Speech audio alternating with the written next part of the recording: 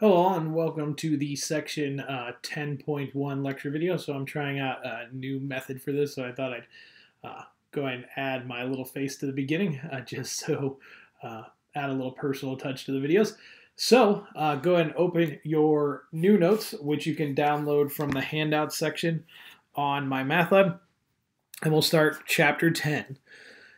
So in this chapter, uh, what we're going to be talking about is how to test a hypothesis using statistics. So this is the idea of how to use the probability uh, and statistical methods we've learned about so far in this class to test a hypothesis. So to start out with, let's just look at an example um, from life, something with a fairly easy probability for us to calculate. So a friend of yours wants to play a simple game in which a coin is flipped.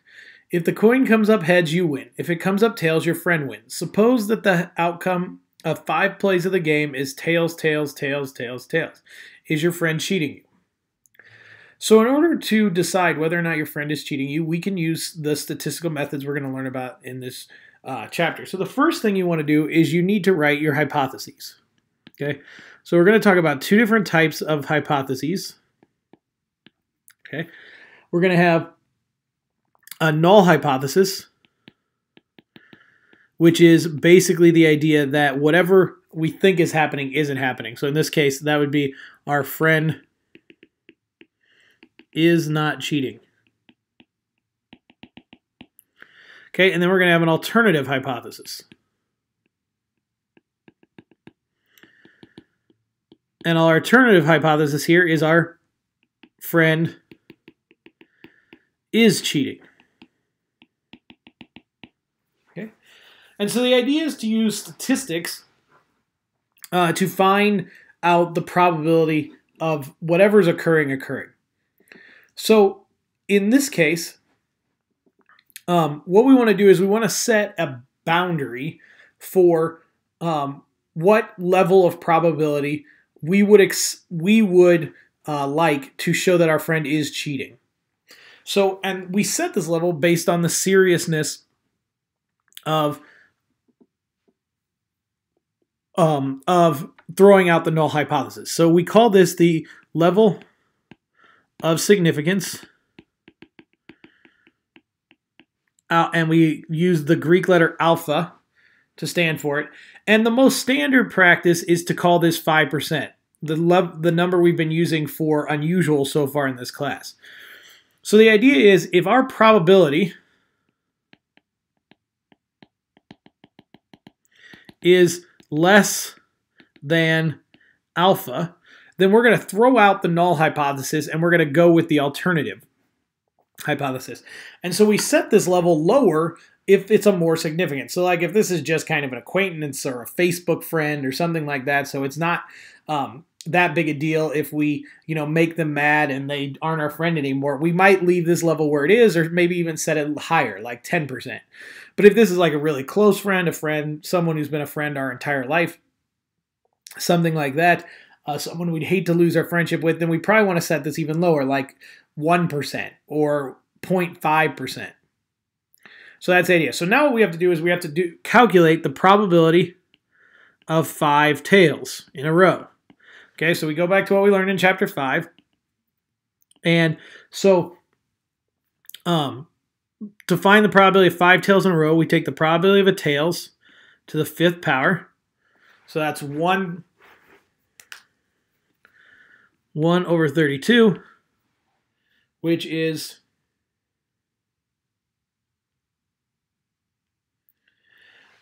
Zero point zero three one two five. So now in this case, that is less than alpha. So what we would do is we would reject the null hypothesis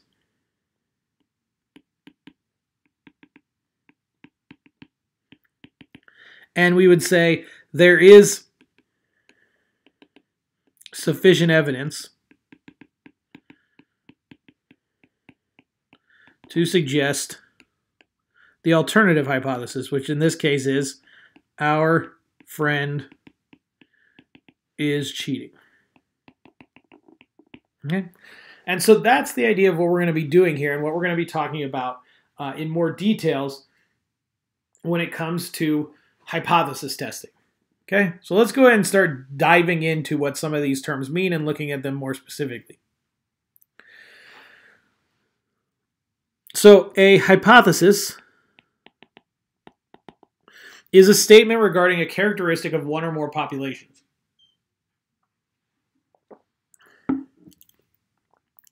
Hypothesis testing is a procedure based on sample evidence and probability used to test statements regarding a characteristic of one or more populations.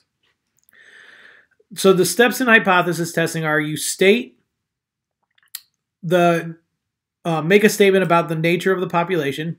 You collect sample data to test the statement, and then the data are analyzed using uh, to assess the plausibility of the statement. Like we said before, we're going to start out with two hypotheses. So the first one is the null hypothesis, denoted H sub 0, which we read as H naught, is a statement to be tested. The null hypothesis is a statement of no change, no effect, or no difference. So it's what we thought was true, what is the current thinking. Then we have the alternative hypothesis,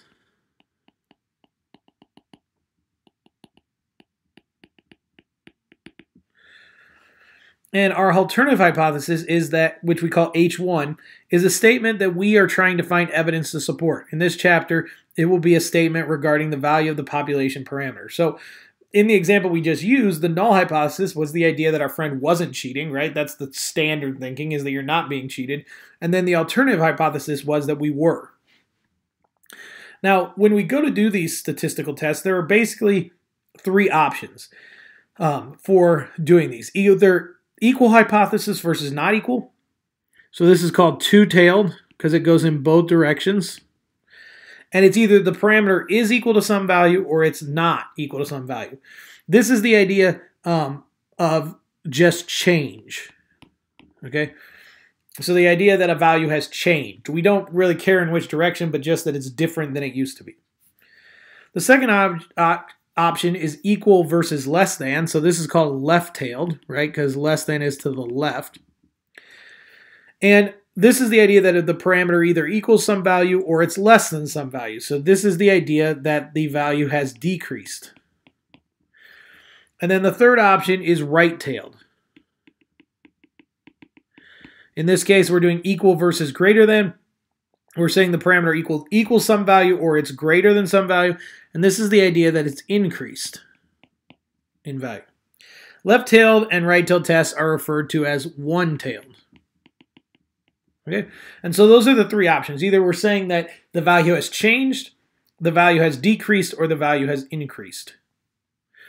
So we could try writing some hypotheses. Um, for some given situation. So in 2007, the standard deviation SAT score on the reasoning test for all students taking the exam was 113.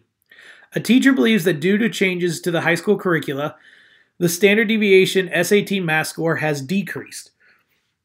Okay, so to write these, every time we start out by writing the null hypothesis, and the null hypothesis is always going to be whatever the parameter is equals the value we started with. So in this case, the standard deviation is we're talking about standard deviation, so that's sigma equals 113. Okay. Then for H1, we're also going to write the standard deviation in 113, and then it's just a matter of did it, are we saying it changed, it decreased, or it increased? In this case, we're saying it decreased, so that means we're going to put sigma is less than 113. Okay, and that's how all of these are going to work. So you just need to figure out which um, parameter you're talking about. So you're talking about mu, sigma, or p. And then are you talking about increased, decreased, or changed? So according to the CTA, IA, the Wireless Association, the mean monthly cell phone bill was $494 in 2007.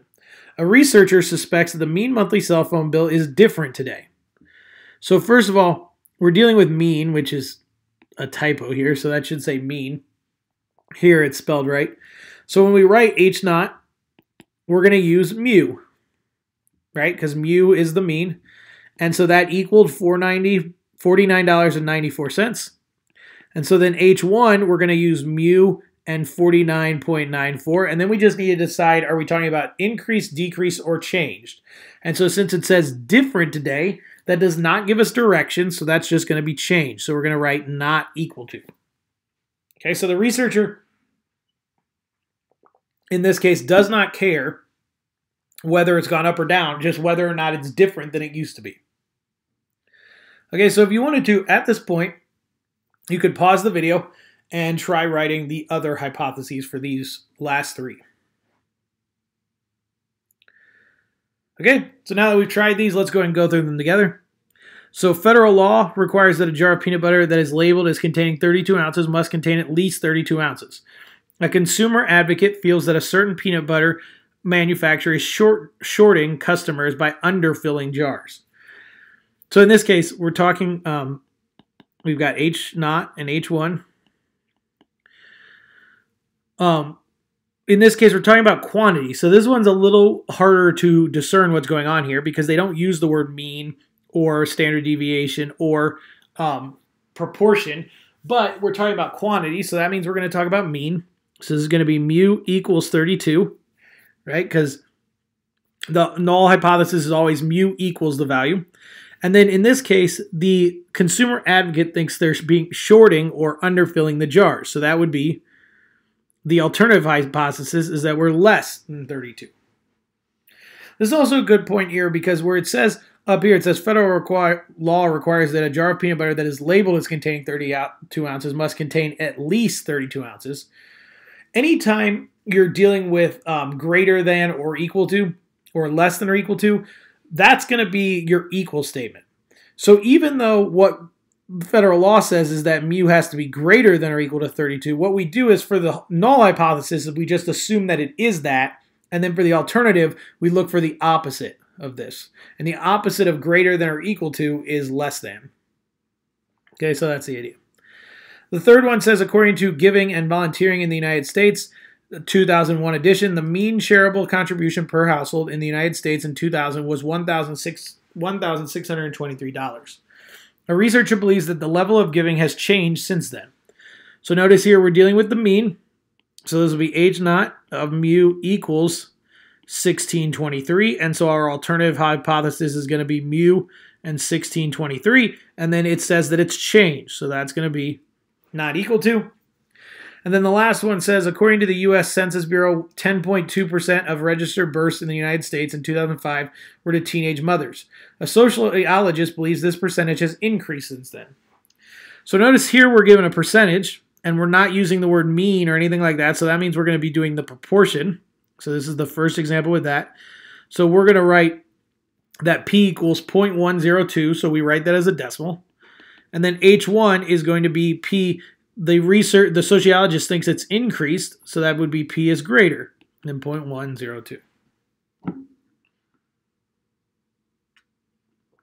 Okay, so whenever we're doing a hypothesis test, this is the first thing we need to be able to do, is write the hypothesis. Once you've written the hypotheses, um, then we can start trying to find a result. And there are four outcomes when you do a hypothesis test. Either we reject the null hypothesis when the alternative hypothesis is true. So if the alternative hypothesis is true, then we do want to reject it. If our um, friend is cheating us, then we do want to reject the fact that they're not cheating us. So that would be a correct decision. The second option would be that we do not reject the null hypothesis. This happens when the null hypothesis is true. If our friend isn't cheating us, we don't want to reject the null hypothesis that they aren't cheating us. We want to keep that. So that would also be a correct decision. So there are two ways to be correct. You can reject the null hypothesis when the alternative is true, or you could not reject the null hypothesis when it is true. Those would be correct decisions. There's also two incorrect decisions. So we reject the null hypothesis when the null hypothesis is true, this decision would be incorrect. So if our friend isn't cheating us and we say that they are cheating us, that would be an incorrect decision. This is called a type 1 error. And we write 1 in Roman numerals here. The other option is we do not reject the null hypothesis when the alternative hypothesis is true. So our friend is cheating us, but we think they aren't cheating us. This decision would be incorrect. This type of error is type 2 error. So if we, and then here this is all in a chart. So these four options written out in a chart. So of the two types of error we could have, looking at the example we're talking about with our friend and whether or not they're cheating us, the question is, well, which one's probably a bigger deal? So would it be bigger to call our friend a cheater when they're not? Or would it be better to assume they're not a cheater when they actually are? Well, one of those is going to end your friendship, and one of the other ones you're just going to be a kind of a dupe, uh, duped by them, but you're still going to have your friend. So I think most of us would say that the type 1 error is probably the bigger deal, calling someone a cheater when they're actually not. So alpha this value we've already talked about, the level of significance, is the probability of getting a type 1 error. And then we also have a Greek letter beta, which is the probability of a type 2 error. You cannot control for both of these, so we normally choose to control alpha because that's usually the more serious one, to reject the status quo when the status quo is in fact true. This is called the level of significance And this is how we're going to choose alpha. So we're going to choose our level of significance based on how important is it to not make a type 1 error. So the more important it is to not make a type 1 error, the lower alpha will get. Okay? So that's the idea of what can happen. Now, what we'd like to do is we'd like to be able to write conclusions based on um, our results from our statistical analysis. So in sections 10.2 and 10.3, we're going to talk about how to do these hypo- do that statistical analysis for the um, hypothesis test. But for now, we want to talk about well, what do we write after we've done that? So there's two things that happen when you do a statistical analysis. If your probability value is not less than alpha, or if it is less than alpha, you either do not reject or reject the null hypothesis, and then you write a conclusion about the alternative hypothesis. So let's look at some examples. So in 2007, the standard deviation SAT score on the reasoning test for all students uh, taking the exam was 113. A teacher believes that due to changes to the high school curricula, the standard deviation SAT math scores has decreased. The null hypothesis is rejected. So we already wrote these hypotheses, but I'll go ahead and write them again. We said H naught was sigma equals 113, and H1 is sigma is less than 113 because we think it has decreased. And so the null hypothesis gets rejected. So if we reject them, so that's the first thing we would normally state if we had done this analysis ourselves. We'd state the null hypothesis has been rejected or it has not been rejected. So since we said the null hypothesis has been rejected, that means we're going to go with this one. Now, all these results are probabilities. So we cannot, we don't want to say we've proved something. What we want to say is that we have sufficient evidence. So one way to write this would be there is sufficient evidence to suggest, and then we write the alternative hypothesis that the standard deviation of SAT math scores has decreased.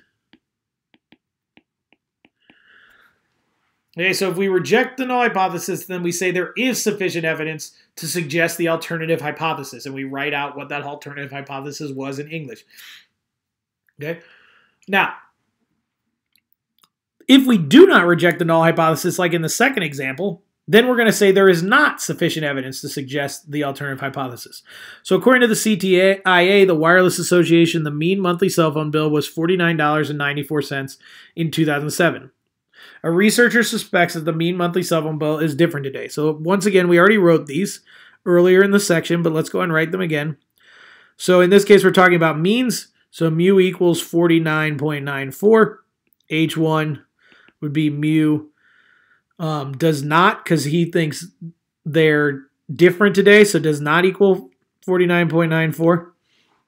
And so then if we do not reject the null hypothesis, then we write there is not sufficient evidence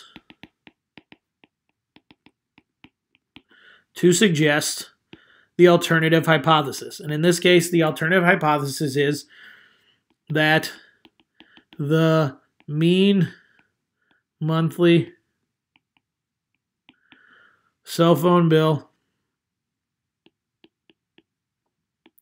is either different than it was in 2007 or that the mean monthly cell phone bill does not equal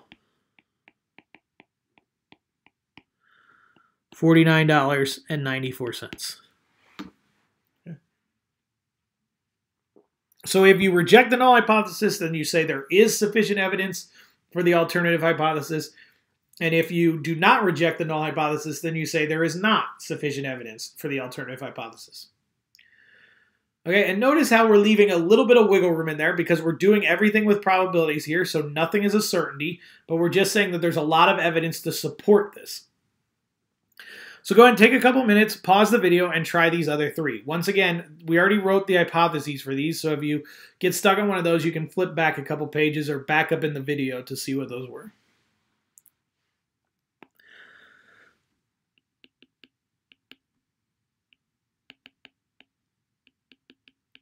Okay, so now that you've had a chance to try these on your own, I'm just going to go ahead and first copy down the hypotheses that we already did from earlier.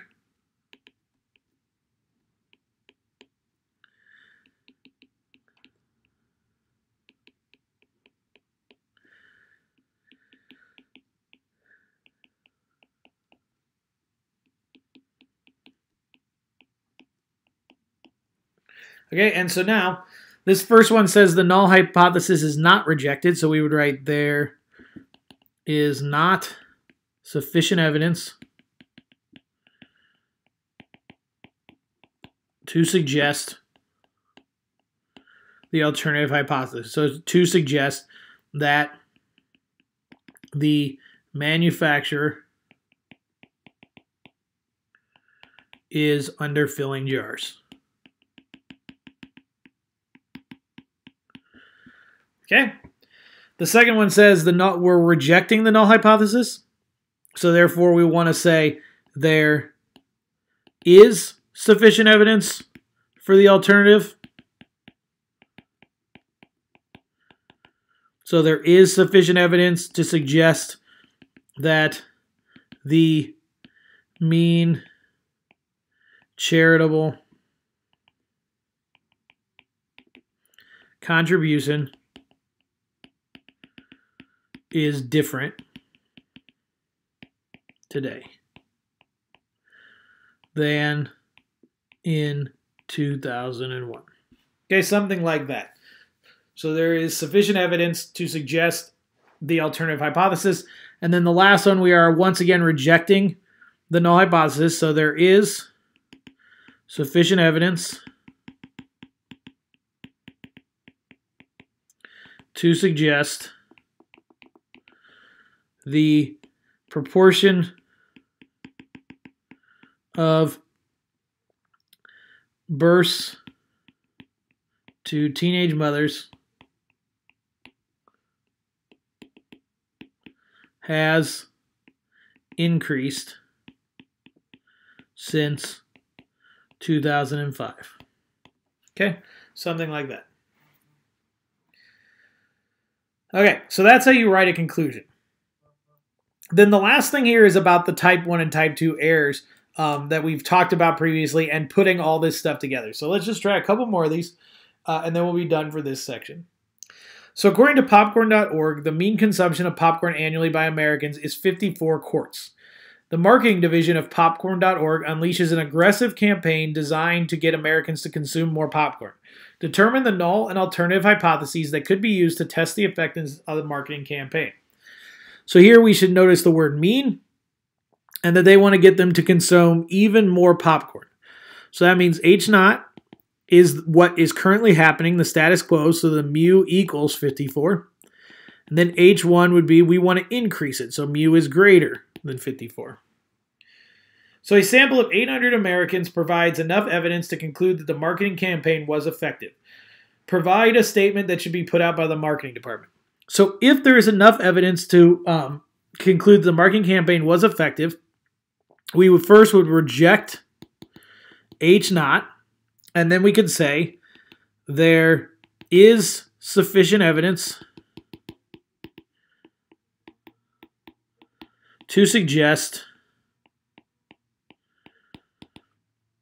Americans are now eating more than 54 quarts of popcorn a year. Okay, so we rejected H naught so we can say there is sufficient evidence of the alternative hypothesis.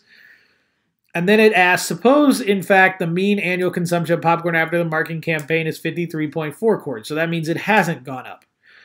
Has a type 1 or type 2 error been made by the marketing department? If they tested the hypothesis at the alpha equals 0.05 level of significance, what is the probability of making a type 1 error? So the key here is we rejected H naught when H naught was true. So if you look back at the chart, we reject H naught when H naught is true. So that's a type 1 error. And alpha is the probability of making that error. So the probability of a type 1 error in this case was alpha, which is 0.05. So there was a 5% chance that that would happen. Okay, so that's the idea. So at this point, go ahead and pause the video for a second and try doing the second one. Okay, so now that you've tried the second one, let's go through it together. So according to the Centers for Disease Control and Prevention, in 2005, 15.2% of 10th grade students had tried marijuana. The Drug Abuse and Resistance Education DARE program underwent several major, changes to keep up with technology and issues facing students in the 21st century. After the changes, the school resource officer, SRO, thinks the proportion of 10th grade students who have tried marijuana has decreased from the 2005 level, levels. Write the null hypothesis. Okay, so notice here that he thinks the proportion has decreased. So that means our H naught is what it currently was or what it was in 2005. So that's 0.152 written as a decimal. And then he thinks it's decreased. So that would be P is less than 0.152. So if the sample data suggests the null hypothesis should not be rejected, then what conclusion can we make? Well, then we can conclude there is not sufficient evidence of um, to support the alternative hypothesis. So there's not sufficient evidence to suggest that the proportion of 10th graders that have tried marijuana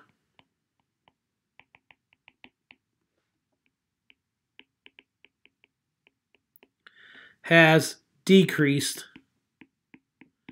from 2005. Okay, so there is not sufficient evidence. If we do not reject the null hypothesis, then we say there is not sufficient evidence to suggest the alternative hypothesis. And then suppose that in fact the proportion of 10th grade students who have tried marijuana is 14.7%.